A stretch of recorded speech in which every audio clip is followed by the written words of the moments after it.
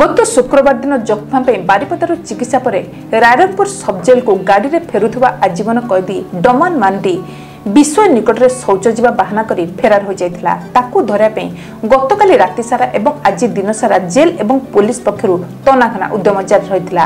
ଆଜି ସନ୍ଧ୍ୟା ପ୍ରାୟ ଛଅଟା ବେଳେ ଫେରାର କଏଦୀ ଡମନ ରାଇରଙ୍ଗପୁର ଗ୍ରାମାଞ୍ଚଳ ଥାନା ଅଧୀନ ରେହେଡ଼ାକଚା ଗାଁ ନିକଟ ରାସ୍ତାକଡ଼ ଏକ ବିଲରେ ବସିଥିବା ଦେଖି ଜେଲ୍ କର୍ମଚାରୀମାନେ ତାକୁ ବ୍ୟାପକ ପଚରାଉଚରା କରିଥିଲେ ଏହି ସମୟରେ ଡମନ হঠাৎ দৌড়ি পলাই যাওয়া বেড়ে তাকে তিনজন জেল কর্মচারী বিদ্যাধর নায়ক জগন্নাথ বেহরা এবং জিতেন মান্ডি কাবু করে নিয়ে সে ফেরার ডমান বলে জাঁয়া পাই এরপরে ডম্বানু রায়রনপুর সবজেলর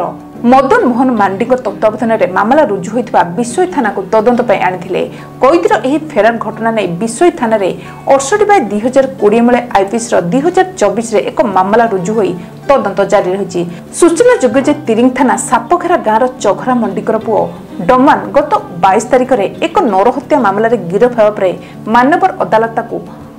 ଉଣେଇଶ ବାର ଦୁଇ ହଜାର ଷୋହଳରେ ଆଜୀବନ କାରାଦଣ୍ଡ ଦେଶ ରାୟ ଶୁଣାଇଥିଲେ ମୟୂରଭଞ୍ଜରୁ Prashant Kumar Das Pattanayak report Odisha mobile TV